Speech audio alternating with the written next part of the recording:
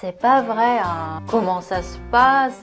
Mais je crois pas. Tous les Coréennes font la chirurgie esthétique. Toi aussi? Il existe beaucoup de cliniques de la chirurgie esthétique. Maintenant, je vais vous dire si j'ai subi une chirurgie esthétique ou pas.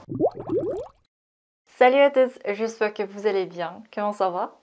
Alors, je m'appelle Minju et je suis coréenne. J'habite en Corée du Sud et je filme des vidéos en français. Alors aujourd'hui aussi, c'est un sujet que vous avez beaucoup demandé depuis longtemps. Alors jusqu'à maintenant, j'ai eu beaucoup, beaucoup de questions concernant la chirurgie esthétique en Corée du Sud et euh, je comprends parce que euh, c'est vraiment très connu euh, la chirurgie esthétique de la Corée du Sud et il y a beaucoup de vidéos de ce sujet dans YouTube aussi. Donc oui, je comprends. Et je crois que vous voulez entendre parler des, des avis de Coréens En tout cas, aujourd'hui, je vais en parler. Et j'ai eu beaucoup de questions si j'ai subi euh, la chirurgie esthétique ou pas. Ça aussi, il y avait beaucoup de commentaires sur ça.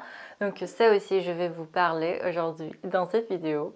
Mais en fait, euh, avant de commencer cette vidéo, j'ai envie de répondre aux commentaires de ma dernière vidéo. Comment être mince encore dessus, comment je fais pour être mince, etc. Il y avait euh, beaucoup de commentaires comme euh, est-ce que tous les Coréens mangent sainement? Et, et ça, c'est pour répondre aux critères de beauté de ton pays. En fait, euh, bien sûr, ça dépend. Évidemment, hein, il existe de nombreuses raisons pour manger sainement. Ça peut être euh, pour, euh, faire, pour faire le corps qu'ils veulent, ou ça peut être pour littéralement pour la santé, pour manger sainement, etc. Mais je dois manger sainement pour répondre aux critères de beauté de notre pays.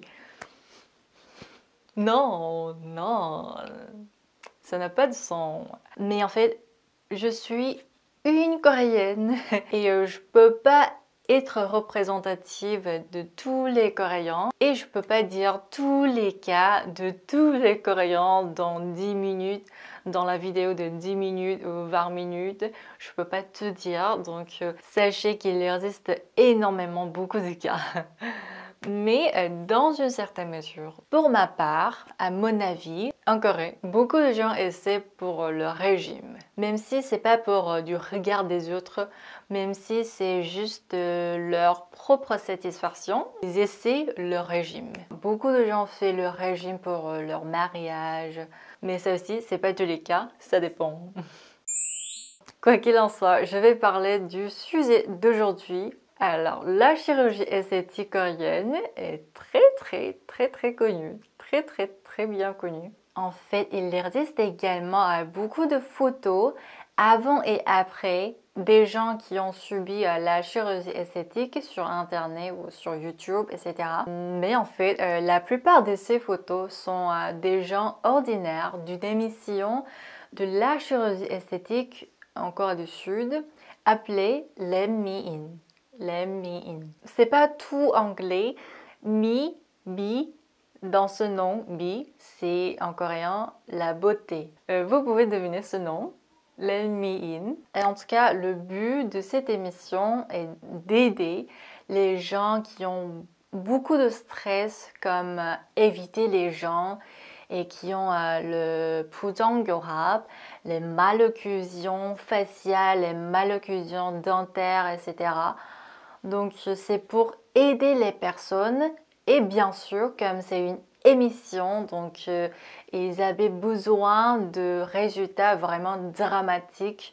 Ils avaient besoin d'attirer les attentions des gens. Donc euh, euh, les résultats étaient tellement tellement tellement beaux.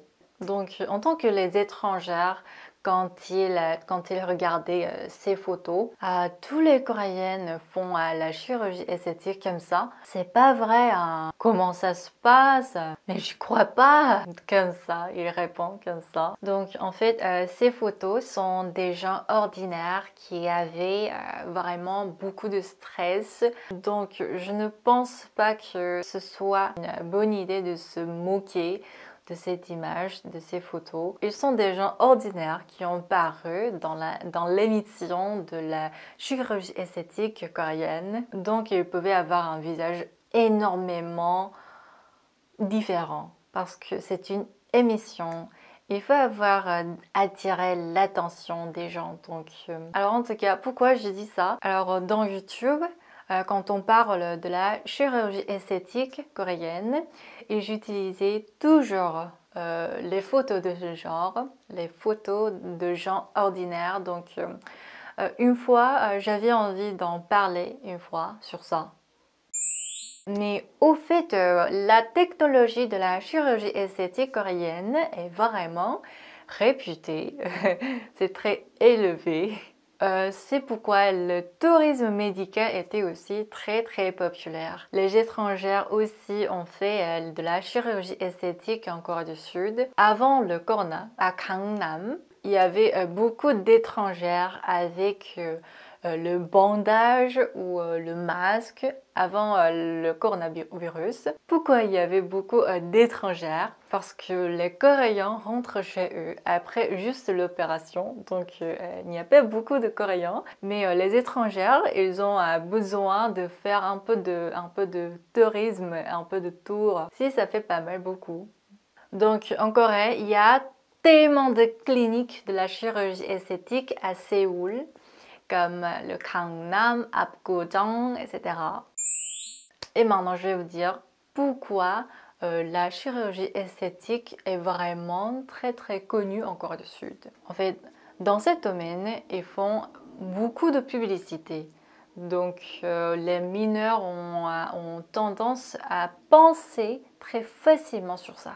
C'est le problème. Ils ont fait beaucoup de publicité sans restriction donc euh, les jeunes, les mineurs voulaient faire la chirurgie esthétique sans penser euh, l'effet secondaire, etc. Et euh, vers 2013, 2014, une image, ça, Gangnam Yin, Gangnam Beauty. Cette image était vraiment, vraiment populaire. À ce moment-là, il y avait beaucoup de gens qui ont fait euh, la chirurgie esthétique euh, comme ça. Et ces photos est pour euh, la satire de cette situation. à cette époque, il y avait pas mal de gens qui ont le visage comme ça à Gangnam. Donc c'est Gangnam Min. Quand je suis allée à Gangnam, j'ai vu plusieurs fois dans la rue en marchant. Et si je pense pourquoi ça s'est produit, ces situations, il y avait beaucoup de publicité dans le métro, dans le bus, dans la rue, il y avait beaucoup. Et sans mentionner l'effet secondaire. Oui, c'était le cas comme ça. Et si une influenceuse subit la chirurgie esthétique sponsorisée dans une clinique gratuitement, euh, beaucoup de gens, beaucoup de, surtout les mineurs, les jeunes, ont toujours demandé T'as fait où? Comment ça s'est passé, euh, le prix, quelle clinique? Il y avait grand défait publicitaire. Mais euh, maintenant, c'est un peu différent.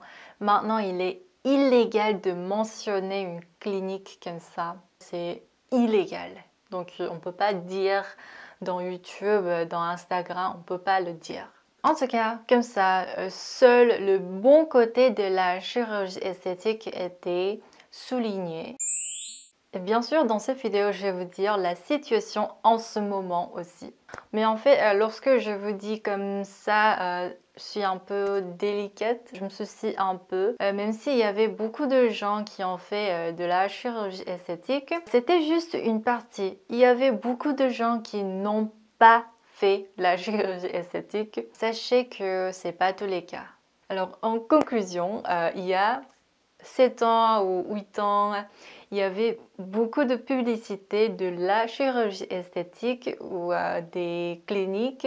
Elle a été considérée comme trop légère. Dans les émissions comme Let Me In, il y avait aussi juste le seul bon côté de la chirurgie esthétique sans mentionner de l'effet secondaire. Je pense que c'est pourquoi euh, le pourcentage de la chirurgie esthétique était augmenté.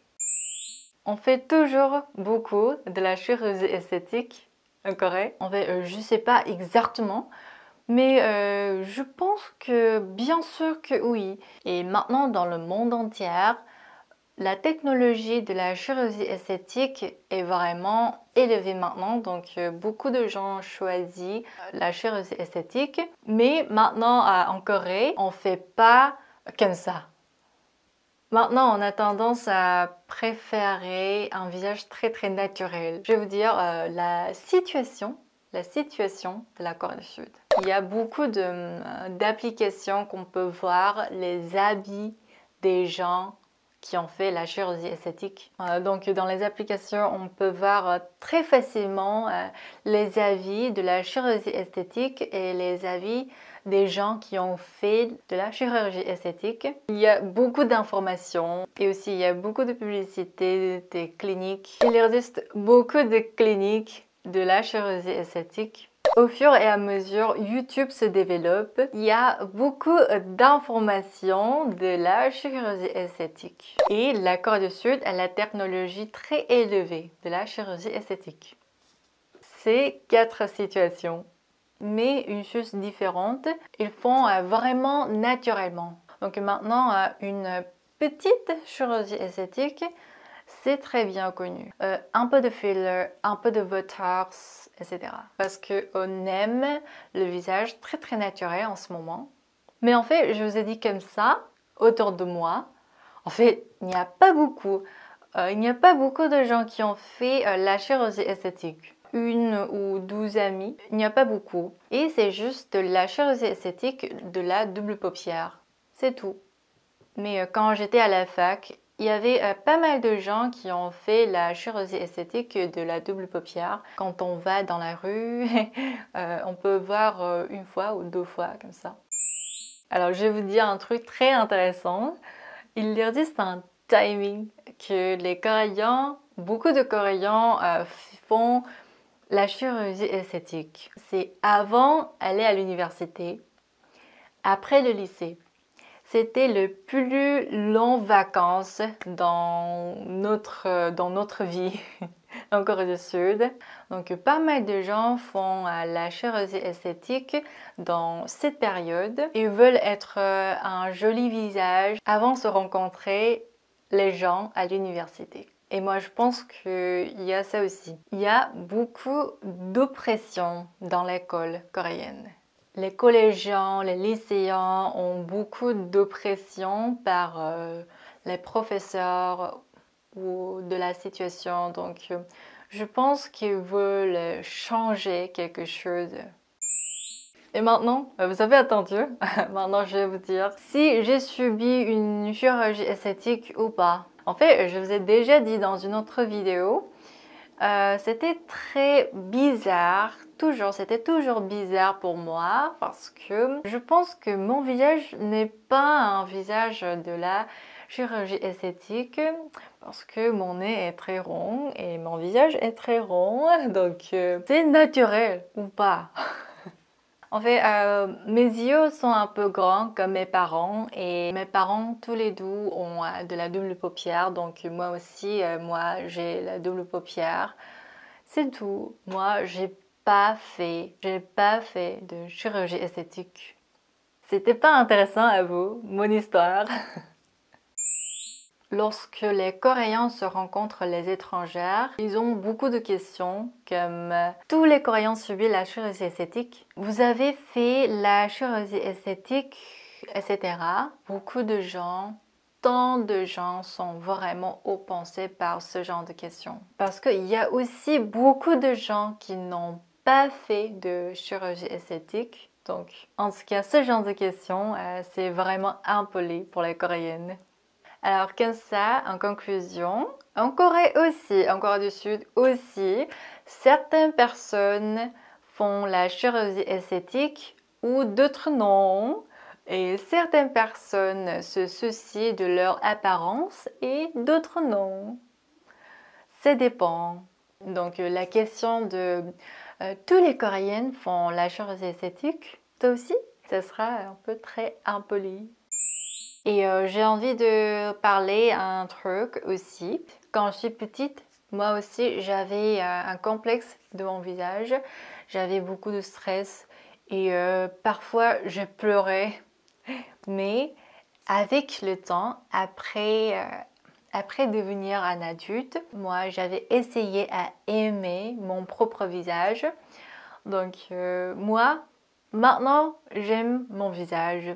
Parfois, c'est très difficile à aimer mon visage, mais, euh, généralement, j'aime mon visage. Alors, on a, vous et nous, on a propre notre personnalité, on a propre notre notre visage et votre visage est vraiment harmonieux, rien à changer. Quand on est petit, il y a la possibilité de ne pas aimer notre visage, mais avec le temps, vous allez aimer votre visage.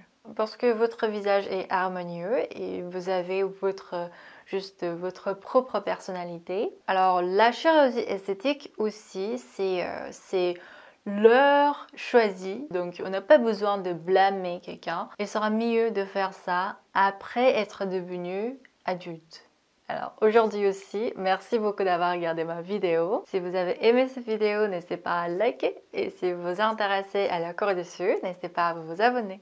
Et si vous avez des questions ou si vous avez des vidéos que vous voulez regarder, n'hésitez pas à laisser dans les commentaires. Annyeong